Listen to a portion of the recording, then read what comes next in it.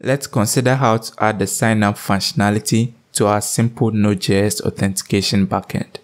So far, we've initialized the project, connected it to a Mongo database, and got it to start using NodeMon. For the main features of the application, including sign up, we'll group them in a domains directory. The sign up feature will be under the user domain. In this domain, we first need a model for our user. The model will describe the structure and the kind of data that will store about a user. To do this, we need the Mongoose package that we installed earlier and the schema class from Mongoose.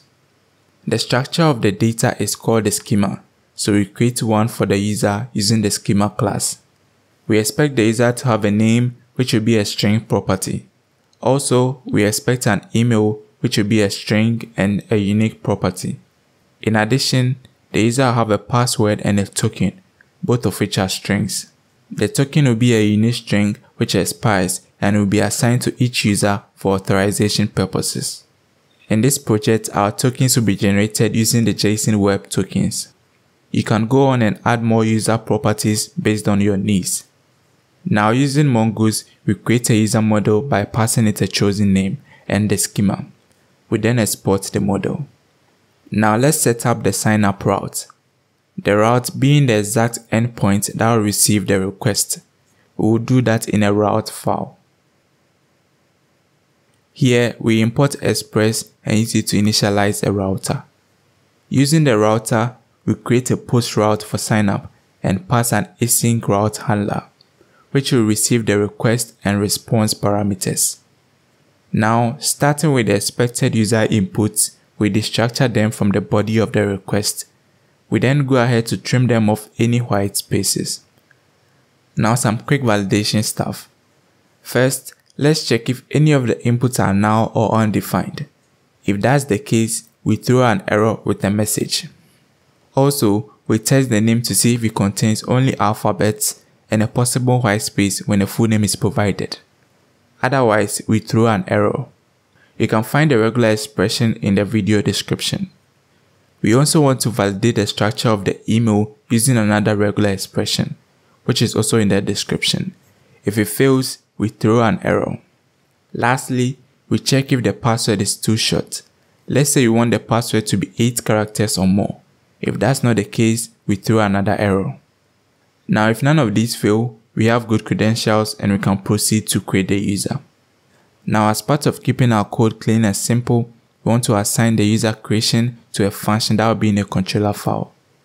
In the controller, we will create the user in a simple async function, which we expect to receive some data. In this function, we start by destructing our values from the data. Now, we want to ensure that the user we are about to create doesn't exist already, so we import the user model. Now using the user model, we search for the existing user based on the email. If we get a positive result, we throw an error that the user already exists. If that's not the case, we want to hash the user's password and add it to the other details to be stored. Now I'll be hashing data a few more times in this project, so let's dedicate a file to this purpose. We'll store this file under utilities in the source directory. Now for the hashing, we'll be using the bcrypt package that we installed earlier and we'll handle the hashing using a simple async function. To this function, we'll pass the data to be hashed and a salt round value which will be 10 by default. Now we get a hashed value using bcrypt by passing the data and a salt rounds. We then return the result which is the hashed data. If we catch any error while doing this, we throw it back to the function that called hash data we then ensure to export the function.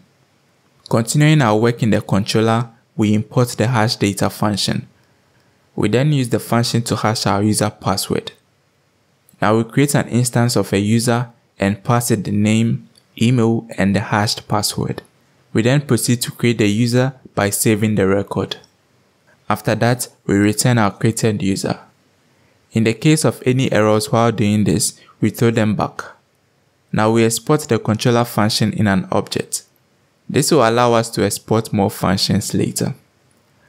Now back in our route file, we import the create user function. We get the new user data back in a JSON format by passing it all the data that we have. We then respond to a successful request by passing the user data as a JSON object. The status of value 200 just gives the signal that everything is fine with the request.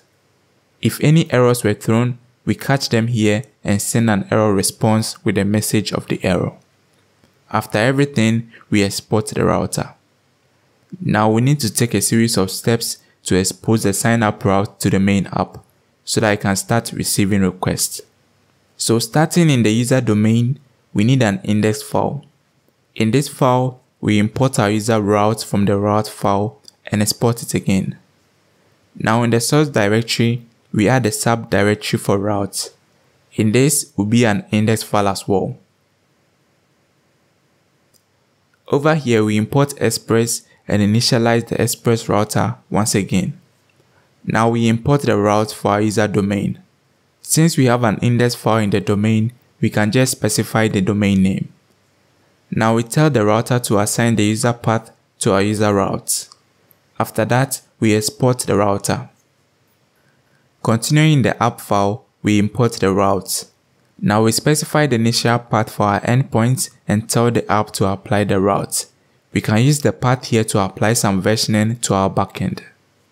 While the server is still up and running, we can create a post request in Postman and supply the endpoint to sign up. The endpoint starts with localhost and the port, followed by the initial path in the app file, the path assigned in the main routes index file, and finally the path assigned to the route in the domain routes file. When we provide an object of data in a JSON format, we can send a request.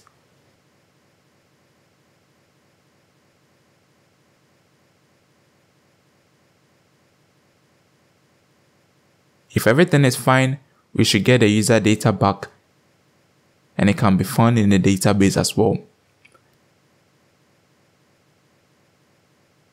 This works fine so we can save and commit the changes in our code. We will build on this to implement the login functionality next.